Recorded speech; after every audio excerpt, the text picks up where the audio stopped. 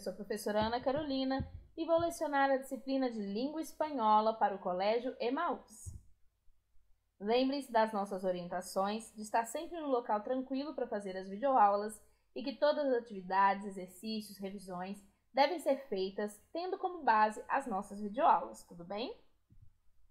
Daremos continuidade então à nossa disciplina de língua espanhola. Por favor, peguem o caderno, né, já que finalizamos nosso livro didático, e escrevam assim: Colégio Emaús, classe de espanhol e a data, né? Essa data ali é só um exemplo para vocês. É, todas as vezes que começarmos nossas aulas de espanhol de agora em diante, vocês já podem colocar assim: Colégio Emaús, classe de espanhol, a data que vocês estão fazendo o exercício e o número da videoaula logo em seguida. Porque eu não vou pedir para vocês para escreverem textos nem nada disso. Então é, pro, é provável que quando vocês forem estudar, precisem rever os textos. Então vocês vão ter que saber qual é a videoaula. Então é uma maneira de organizar o caderno de vocês, otimizar o tempo e melhorar a maneira como vocês vão estudar, né? Porque não vão precisar assistir todas as aulas, é só ir diretamente naquela videoaula e descobrir do que se trata aquela atividade. Então vocês vão escrever Colégio Maús, classe de espanhol, a data do dia que estão fazendo a atividade e o número da videoaula, tá bom? E aí vocês vão escrever as perguntas dos exercícios e as respostas. Não precisa escrever os textos, tá bom? Se precisar algum dia, eu falo para vocês na hora da videoaula. Vamos lá? Antes de ler, vamos a recordar. Bom, nas próximas aulas nós vamos fazer um pequeno projeto literário e estudar sobre várias, vários tipos de literatura. Com isso, esse é o primeiro exercício, né? É um trabalho, então, de em que a gente vai somente relembrar algumas coisas e vocês precisam responder algumas perguntas. 1. Um, explica com suas palavras que é uma fábula. Essa é uma resposta pessoal, né? Vocês vão explicar com a palavra de vocês o que é uma fábula. Só para que vocês lembrem, vou falar bem rapidinho sobre as fábulas. As fábulas são textos que trazem uma moral, elas têm o propósito de ensinar o leitor, que normalmente são crianças e pré-adolescentes, né? ensinar algo sobre o cotidiano, sobre a vida dessas pessoas. 2. Explica como suas palavras, com suas palavras como podemos caracterizar as fábulas. Então, as fábulas são histórias curtas, de fácil entendimento e que normalmente tem uma moral lá no final. Às vezes está até escrito moral, dois pontos, e aí fala pra gente qual é o ensinamento que ela quer trazer. 3. Explica com suas palavras como são os personagens das fábulas. Essa também é uma resposta pessoal, mas só para vocês lembrarem que normalmente os personagens das fábulas são animais, animais dotados de uma inteligência que se assemelha à do ser humano, né? Então é como se essas histórias utilizassem os animais como personagens, mas como se eles pensassem como ser humano, e inclusive eles passam por situações que são humanas. Para ti, qual a principal diferença entre as fábulas e outros textos? Essa é uma resposta pessoal. Para vocês, qual é a di principal diferença entre as fábulas e outros textos? Podem pensar em qualquer outro texto. E aí expliquem para mim qual é a principal diferença na concepção de vocês. E agora nós vamos ler juntos uma fábula. Ela é um texto um pouquinho longo, então prestem bastante atenção, é, sigam a leitura né, através aqui da tela da videoaula e vamos lá. Vamos ler uma fábula que se chama El León y la Liebre. O leão e a lebre. Vocês já conhecem essa fábula? Vamos lá. Em certa ocasião, um leão se passeava por seus domínios em busca de algo para comer. Era um leão grande e fiero que imponía mucho respeto al resto de los animales, pues por algo era el rey de la sabana.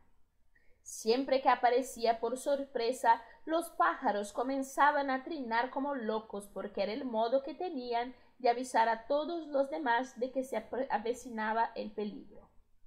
En cuanto sonaba la voz de alarma, los antílopes se alejaban dando grandes zancadas en busca de un sitio seguro. Las cebras aprovechaban las rayas de su cuerpo para camuflarse entre ramas secas y hasta los pesados. hipopótamos salían zumbando en busca de un río donde meterse hasta que el agua les cubriera a la altura de los ojos. Ese día, como era habitual, los animales se esfumaron en cuanto llegó a sus oídos que León andaba por allí. Bueno, casi todos, porque algunos ni se enteraron, como le sucedió a una liebre que dormía profundamente sobre la hojarasca. Hacía calor y el sueño le había vencido de tal manera que no escuchó los gritos de los pajaritos. El león rápidamente la vio y se le ramió pensando que era una presa muy fácil. No se movía y la tenía en su total disposición. Emitió un pequeño rugido de satisfacción y justo cuando iba a abalanzarse sobre ella, vio a lo lejos un ciervo que por lo visto también se había despistado porque estaba un poco sordo. El león se quedó quieto sin moverse. El ciervo estaba distraído mordisqueando las hojas de un arbusto y tenía que tomar una rápida decisión. ¿Qué hago? ¿Me como esta liebre que tengo delante a mí o me arriesgo y voy a, a por ese ciervo? La liebre no tiene escapatoria posible pero es muy pequeña. El ciervo, en cambio, es grande y su carne deliciosa. Está decidido, me la juego. Salió corriendo a la máxima velocidad que le permitieron sus robustas patas para perseguir a la presa más grande. Pero el ciervo que divisó el felino con el rabillo del ojo reaccionó a tiempo y huyó despavorido. La carrera del león fue inútil. Solo consiguió levantar una polvareda de tierra a su paso que le produjo un picor enorme en los ojos y una tos que casi le destrozaba la garganta. Maldita sea, ese ciervo ha conseguido escapar. Me he quedado sin cena especial. En fin, iré a por la liebre, porque menos es nada. El león regresó sobre sus pasos en busca de la presa más pequeña Suponía que seguiría allí, plácidamente dormida, pero el, animal ya no estaba.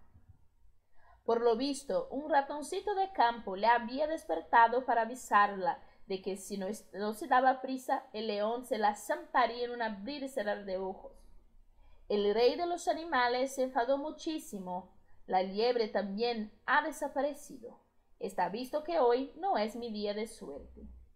Al principio, al león se le comió la rabia, pero después se tumbó a reflexionar y se dio cuenta de que no había sido cuestión de suerte, sino que la casa había fracasado por un error que él mismo había cometido. En realidad me lo merezco. Tenía una presa segura en mis manos y por, y por ir a por otra mejor, la dejé ir. Al final me he quedado sin nada, pero qué tonto he sido. Y así fue como el león no tuvo más remedio que continuar buscando comida, porque a esas alturas tenía tanta hambre que las tripas le sonaban como si tuviera una orquesta dentro de la barriga. Moraleja. Como dice el refrán, más vale pájaro en mano que ciento volando. Esto significa que a menudo es mejor conformarse con lo que uno tiene, aunque sea poco, que arriesgarse por algo que a lo mejor no podemos conseguir. Bom, vamos repassar rapidamente, só para que vocês entendam perfeitamente a história. Então, o leão estava passeando pelos seus domínios em busca de algo para comer, né? Ele era grande, feroz, impunha muito, impunha muito respeito aos animais, e sempre que ele estava por perto, os passarinhos começavam a gritar, né? A cantar bem alto para que os outros soubessem que o perigo estava chegando próximo, né? Ele descobriu que havia uma lebre ali dormindo que não percebeu que ele estava por perto e decidiu que a comeria. Só que quando ele iria comer a lebre, o que aconteceu foi que ele viu um cervo. E esse cervo estava ali próximo também sem se dar conta que ele estava perto. E aí ele ficou pensando: o que, que eu faço? Eu como a lebre que está aqui na minha frente, que não tem escapatória, mas é muito pequena, ou eu vou atrás do cervo, que é grande e tem uma carne saborosa, mas que está um pouquinho longe de mim? Ele com muita autoconfiança, decidiu deixar a lebre para trás e ir atrás do cervo. Acontece que o cervo foi muito rápido e fugiu. O máximo que o leão conseguiu fazer foi subir um monte de poeira que fez ele ficar com os olhos coçando e com um monte de tosse. Então ele ficou muito irritado, mas decidiu ir então atrás da lebre porque ele pensou que menos era melhor do que nada, né?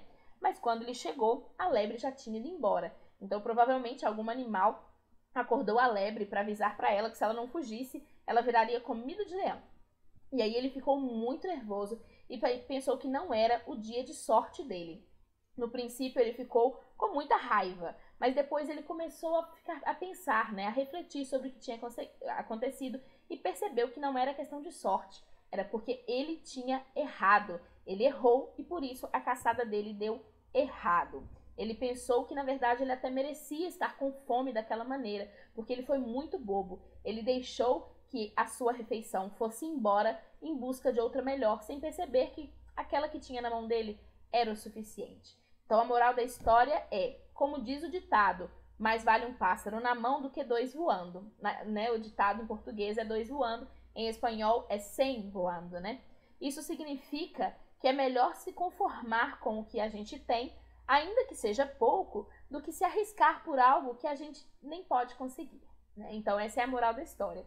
E é muito divertido a gente observar como as pessoas que escrevem as fábulas colocam a índole desses animais de uma maneira muito correta, né? As pessoas têm uma ideia do leão como rei da floresta, muito poderoso, quando na verdade o leão ele quase não consegue é, fazer com que suas caçadas deem certo, né? Se vocês qualquer lugar que vocês forem pesquisar, os leões são péssimos caçadores. De 10 caçadas que eles fazem, uma dá certo. E normalmente quem consegue mais fazer as caçadas são as leoas e não os leões. Então eles trazem para dentro das fábulas é, realmente o, a índole e o caráter, né? Como caráter em espanhol seria algo como a maneira de ser desses animais. Então colocando as lebres, as raposas como animais extremamente inteligentes, né? Porque são os corvos também, que muita gente não sabe, mas que são animais extremamente inteligentes. Então, o que acontece nessas fábulas é que eles utilizam realmente o que são esses animais para dar mais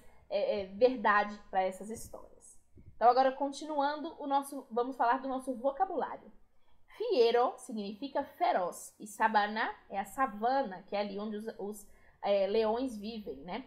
Avecinava é aproximava e zancadas é a passos largos. Eles chegavam nas zancadas, então eles chegavam rapidamente com passos largos. Sítio é lugar. Qualquer lugar é um sítio. Inclusive internet, um site da internet chamamos de sítio de internet. Zumbando é com grande rapidez. Los, los ciervos llegaram zumbando. Então os cervos chegaram rapidamente. Esfumaram é sumiram, desapareceram, viraram fumaça. O jarasca tem o significado de lixo, mas nessa fábula seriam umas folhas caídas no chão, né? La liebre estava dormida e la hojarasca, ela estava dormida ali naquelas folhas que estavam é, se deteriorando no chão. E relamiou é se deleitou, se relamiou com a ideia, então ele se deleitou com a ideia. Divisou é avistou, ele avistou ao longe, divisou. Despavorido é apavorado. Polvareda é poeira, porque todo tipo de pó, qualquer tipo de pó em espanhol é polvo. Polvo. Escreve polvo, né? Como animal aqui no Brasil. Picor é coceira, ele ficou com picor em los ojos. E tos é tosse. Samparia é comer rapidamente, mas não só comer rapidamente, é quase como comer com falta de educação, né? De tão rápido que a pessoa come ou o animal. Enfadou é ficar com muita raiva, ficar enraivecido. Estou enfadada, quer dizer que eu estou muito brava. Reconcomiou é comer, né? Simplesmente comer de uma maneira exagerada. Rabia é raiva. Tumbou é derrubou. Le tumbou el ciervo, então derrubou o cervo. E reflexionar é refletir. E agora vocês vão fazer essas duas atividades. Lembrem de escrever a pergunta e responder. explique com suas palavras a moraleja da história. Então vocês vão explicar com as palavras de vocês a moral da história, o que se aprende com essa história. E sete, Hago una ilustración en su cuaderno de un momento importante de la fábula e hago una leyenda, com suas palavras explicando o que sucedeu. Então, vocês vão fazer uma ilustração do seu, no, no caderno de vocês de um momento importante da fábula e fazer uma legenda com as suas palavras explicando o que está acontecendo naquela cena que vocês decidiram desenhar, tá bom? Bem simples, uma frase só, não precisa ser uma legenda grande. E agora vamos rever rapidamente, né? Já havíamos aprendido é, no último ano é, os meses do ano, já que entramos em dezembro. Então temos enero, fevereiro, março, abril, maio, junio, julio, agosto, setembro, outubro, novembro, diciembre. E os dias da semana: lunes, martes, miércoles, jueves, viernes, sábado e domingo. Esse dia da semana e meses do ano, se vocês quiserem, podem escrever no caderno, tá? Porque depois vai ficar mais fácil para vocês para poderem estudar, tá? É só pausar o vídeo e escrever no caderno. E agora as três últimas atividades. A número 8 é elige três palavras del vocabulário e escreve frases com elas. Então vocês vão voltar aqui no nosso vocabulário, né? Que vocês têm é, desde o primeiro, os primeiros dias de aula. Eu falo que os vocabulários são muito importantes estarem no caderno. Escolham três destas palavras e formem três frases com elas, tá bom? Elige três meses del año e haga frases com elas. Então, escolha três meses do ano e faça frases. Por exemplo, mi cumpleaños es en febrero. Meu aniversário é em fevereiro. La Navidad es en diciembre. O Natal é em dezembro. E assim por diante. E a 10, elige três dias de la semana e escreve frases com elas. Então, por exemplo, em lunes tenho classes de natação. Na segunda, tenho aula de natação.